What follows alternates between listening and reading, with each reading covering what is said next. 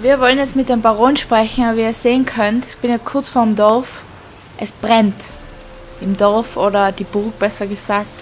Brennt. Wir reiten jetzt schnell mal hin und schauen uns an, was passiert ist. Vielleicht Aufständische, vielleicht wird der Baron gestürzt. Wer weiß. Ah, soll ich dir in den Arsch treten? Aus dem Weg, wir haben es eilig. Oh, Leute, die Boote! Leute, schnell, sofort!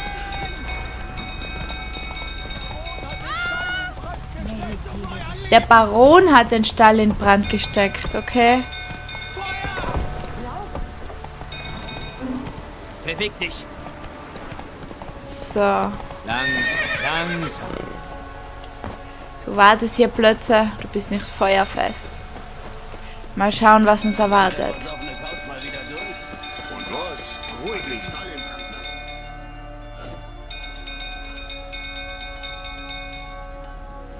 Oswin!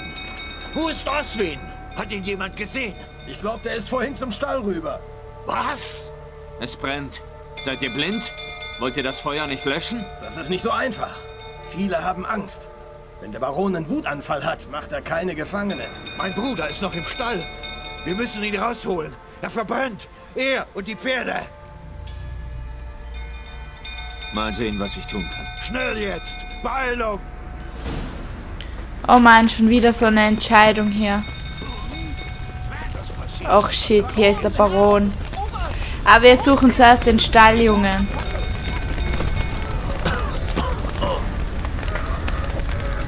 So, was hilft denn hier? Art? Nö. Wie komme ich hier durch?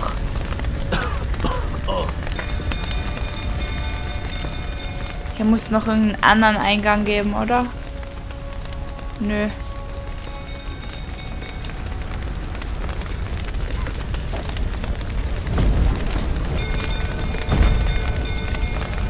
Ja, was anderes bringt uns Feuer nicht. um sich.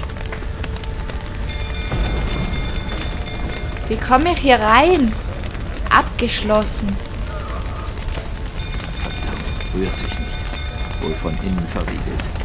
Ich brauche einen anderen Eingang. Ach, hier steht eine Leiter. Oh mein Gott. Mist, so viel Rauch. Ich muss mich beeilen.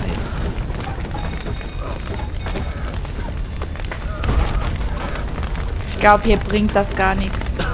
Wo ist der denn?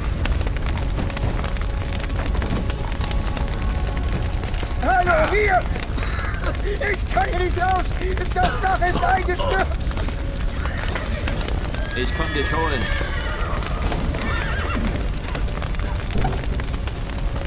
Wo ist der denn? Ich sehe ihn nicht.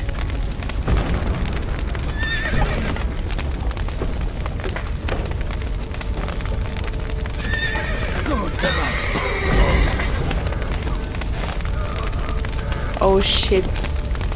Wo ist der jetzt? Ganz im Ernst, ich sehe ihn nicht.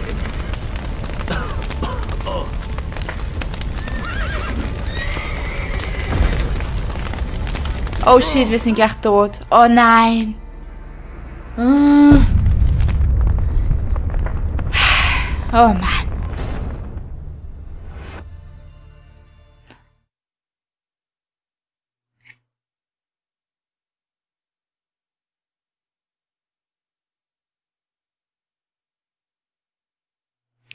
Ja, gut, das war jetzt nicht sehr erfolgreich, aber ich denke mal, beim nächsten Versuch klappt's.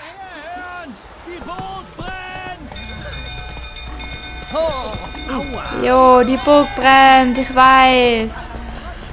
Aus dem Weg, liebe Leute. Ich bin schon da.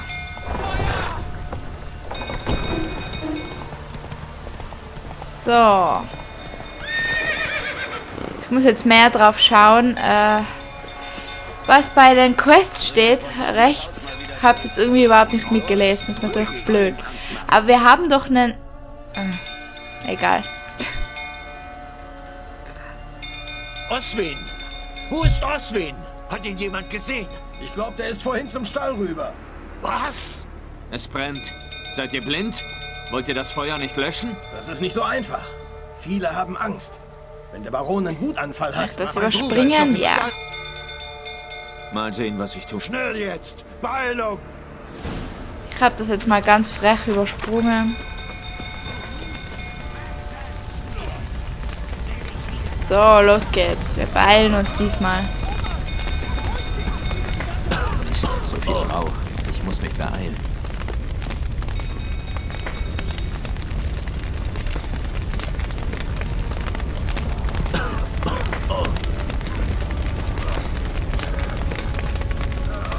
Ist hier eine Leiter? Sonst zieht's mir... Nein!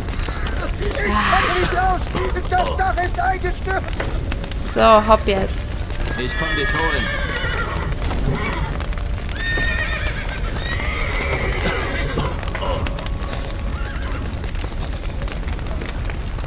Ja, gehst du jetzt auf, du scheiß Tür. So. Und jetzt müssen wir das Haupttor öffnen.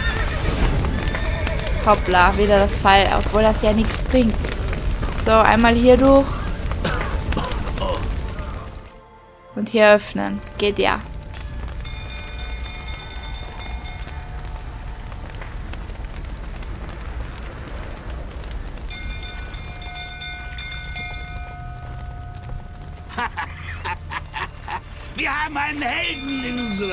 Unserer Mitte. Du hast dir einen fast lyrianischen Weins verdient. Anna hatte eine Fehlgeburt. Bevor oder nachdem du sie verprügelt hast. Was zur Hölle willst du damit sagen? Verkauf mich nicht für dumm. Du hast sie jahrelang geschlagen. Schließlich hatten sie genug und liefen weg. Stimmt das etwa nicht?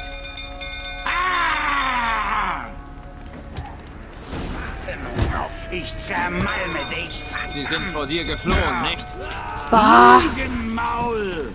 ich kann ihn wieder mal nicht anwie... Wo ist er jetzt hin?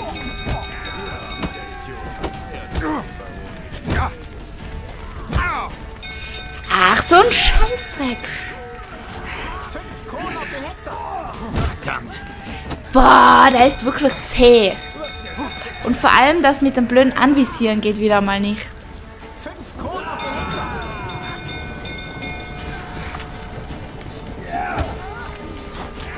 Reicht's mir langsam.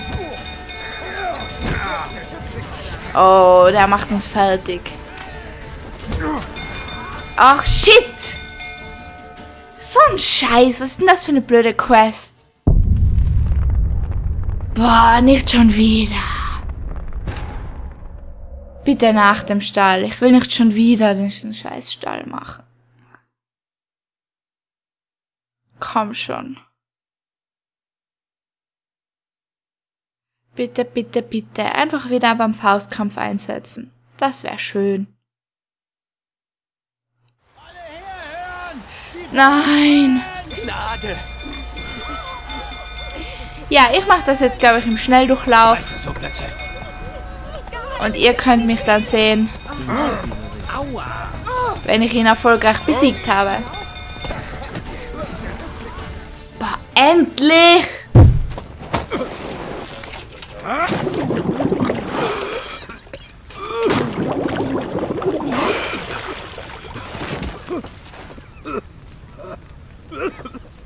Wir müssen reden.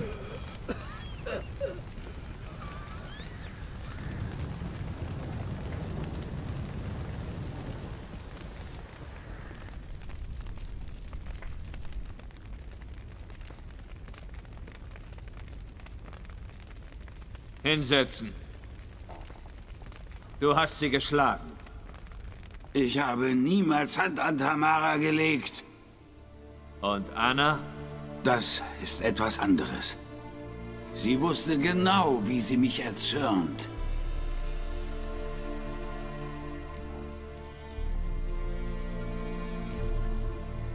Wie hat deine Frau dich wütend gemacht? Die Suppe versalzen? Die Socken nicht gestopft?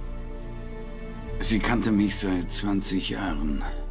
Betrunken wie nüchtern, sie wartete auf meine Heimkehr als Sieger oder als Verlierer, den sie zusammenflicken musste. Sie wusste wie niemand sonst, wo sie mich kneifen muss, damit es weh tut. Du hast sie geschlagen, weil sie dich kritisiert hat? Ach, Hexer, du hast keine Ahnung. Nun, vielleicht erzähle ich's dir ja einmal. Aber nicht heute. Boah, redet er langsam. Hey, ich hasse den. Hätten wir den nicht einfach töten können? Ich soll glauben, dass du Tamara ein guter Vater warst? Nach der Szene im Burghof? Glaub gerne, was du willst. Aber sie war immer mein Augapfel. Sie hatte hier das Sagen, das kann jeder bestätigen. Sie ritt die Pferde, ging mit den Männern auf Jagd und auf Patrouille. Wurde ich zornig, holte man sie. Nur sie konnte mich besänftigen. Klingt, als hätte sie ein herrliches Leben gehabt. Aber warum ist sie dann weggelaufen? Wüsste ich das, bräuchte ich dich nicht. Du wusstest die ganze Zeit, dass sie geflohen sind. Ja, das stimmt. Warum hast du das nicht gesagt und meine Zeit verschwendet? Hätte ich gesagt, dass ich meine Frau und meine Tochter nicht bändigen konnte, du hättest mich für einen Schlappschwanz gehalten.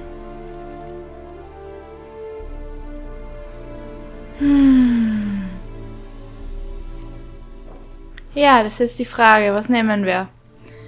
Wie sind sie geflohen? Was ist passiert? Sie sind nicht weggelaufen, du hast sie vertrieben. Kann natürlich sein. Egal, wir wissen eh, wie wir sie finden können.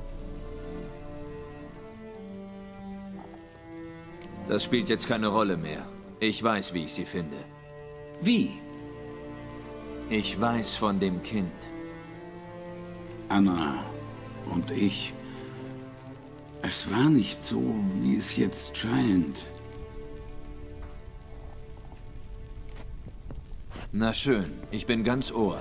Erzähl, was passiert ist. Diesmal die Wahrheit. Ich hatte drei Tage am Stück gesoffen. Anna kam und sagte, sie würde gehen.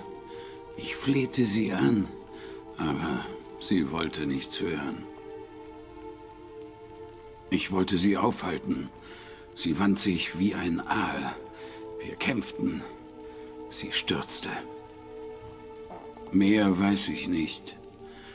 Ich erwachte morgens mit einer pissschweren Hose und einer Riesenbeule am Schädel. Meine Lieben waren fort. Weißt du, wie das ist, Hexer? Nein, wie zum Teufel solltest du? Ich hatte nichts mehr, nur die Flasche. Als hättest du nicht äh, zuvor schon gesoffen, du alter Knacker.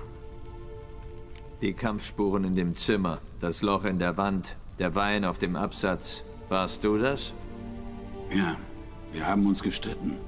Sie wollte mir mit dem Kerzenhalter auf den Kopf hauen, hat aber ständig verfehlt.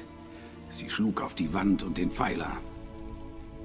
Ich bin zurückgewichen und auf den Tisch gefallen. Dabei habe ich den Wein umgeworfen. Anna nutzte den Moment, um zu fliehen. Sie rannte die Treppen runter, den verdammten Kerzenhalter in der Hand. Ich habe sie auf dem Absatz eingeholt. Wir sind gestürzt. Ich dachte, ich hätte sie. Da schlug sie mir auf den Kopf. Ich verlor das Bewusstsein. Keine Ahnung, was danach passierte. Als ich erwachte, war ich allein. War Tamara dabei? Hat sie den Streit mit angesehen? Vielleicht durch die Tür. Im Zimmer war sie nicht. Leider. Womöglich wäre alles anders gekommen. Ihr Anblick hat mich immer beruhigt. Schöne Ausrede. Sollen wir jetzt Mitleid haben? Irgendwie klappt es bei mir nicht so ganz. Was geschah dann? Es wurde noch schlimmer. Ich erwachte bei Sonnenuntergang und wusste nicht, wie viele Tage vergangen waren. Erst hielt ich alles für einen verdammten Säuferalbtraum. Doch dann ging ich ins Schlafzimmer. Und Anna war nicht da. Stattdessen war alles voller Blut. Ich begriff, sie hatte eine Fehlgeburt gehabt.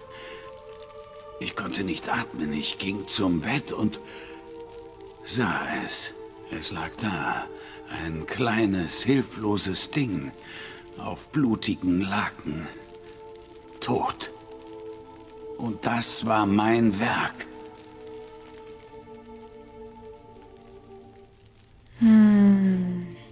Wir wollen natürlich wissen, wo das Kind hin ist, und wir brauchen es. Um den Totgeborenen zu finden und somit auch Anna und Tamara. Vielleicht dein Werk, vielleicht auch nicht. Aber ihr Amulett könnte wichtig sein. Oder die Tatsache, dass sie es verloren hat. Was hast du mit dem Kind gemacht? Was hätte ich schon machen sollen? Ich hab's vergraben. Einfach so? Verdammt, an eine Beerdigung dachte ich nicht. Es war ein Albtraum. Er sollte aufhören. Das war meine Hoffnung. Ich sagte Anna, ein kleines, unser kleines, würde alles wieder richten. Doch sie starb, ehe sie geboren werden durfte. Verstehst du, Hexer? Mein Kind war tot.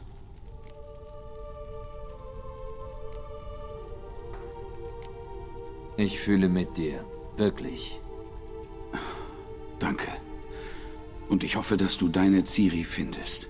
Unserer Abmachung nach muss ich zuerst Tamara und Anna finden. Gut, dass deine fehlgeborene Tochter uns dabei helfen kann. Was? Wie das? Fehlgeburten, die nicht richtig begraben werden, verwandeln sich manchmal in Fehlgeborene. In was, verdammt? Ich glaube, das muss er nicht so genau wissen, oder?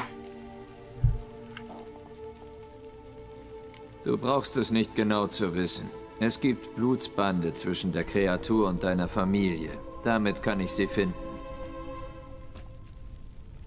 Wie? Auf zwei Arten.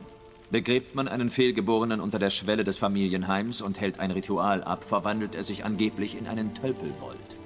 Das ist eine Art Kobold, ein Wächtergeist, der mich zu deiner Familie führen kann. Und die andere? Wir töten ihn, nehmen ihm etwas Blut ab und bringen es zum Weideler. Der tut den Rest. Töte mein Kind nicht. Es hat genug gelitten. Heb den Fluch auf, damit es endlich in Frieden ruht.